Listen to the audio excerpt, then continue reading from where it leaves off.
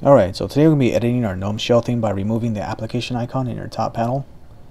Right? So every time you click on an application or launch one, you know, it'll have a little icon here, right?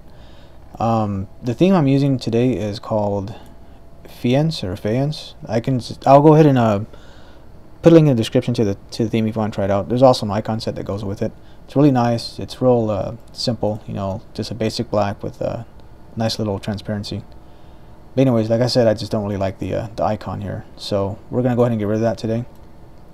Uh, it's fairly simple to do. Basically, you're just going to be uh, removing a, a little bit of code out of the uh, um, shell um, dash CSS file or dot .css file in your theme, your shell theme.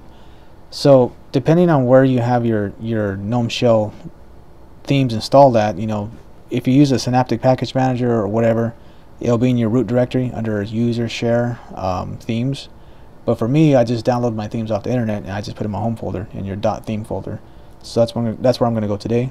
So control H. Dot themes.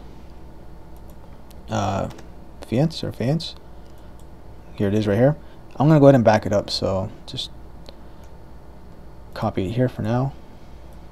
There we go. It's my backup. Let's go ahead and open it up your GNOME shell. And it's right here gnome-shell.css so the thing about this is most likely uh, the part you're going to be modifying will be in here.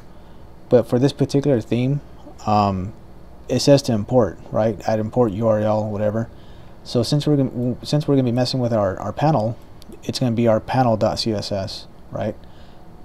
So let's go ahead and look for that. Here it is right here okay? Now here's a little uh, string of code we're gonna you know replace. So let's double click this. Should open up another tab right here. So now we got to find this right here. This dot panel you know dash button uh, you know app menu icon. Copy that. Click back in here. Search find right click and paste and here it is right here. So we're going to start here and we're going to end about right here this little bracket right here. So let's go ahead and copy all this. Click back in here where it says dot app menu icon whatever this last little bracket. And stop right here hit backspace. And paste. And there we go. Now save it. Now I'm gonna go ahead and stop recording because every time I reload GNOME shell it just crashes with the recorder on. So I'll be back in a second. So I can reload the shell. Alright I'm back and as you can see there's no more icon in your panel right? No matter what you click on, you know, it's not there anymore.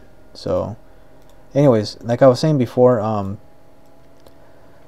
if you install your if you install the theme through your through your Synaptic Package Manager or through a terminal or your Software Center or whatever, it'll be in your root directory. So let me just go ahead and show you um, where it's at real quick.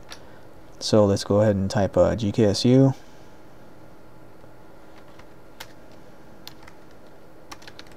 N-A-U-T ILUS, Nautilus. Alright. Go to your file system, go to user, or USR, share, themes, right? And I think this is one that, that I installed. Here it is right here.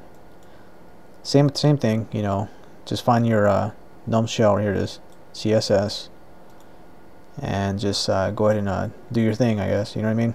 So that's it for that and if you have any questions feel free to ask you know no big deal. And uh, see you guys later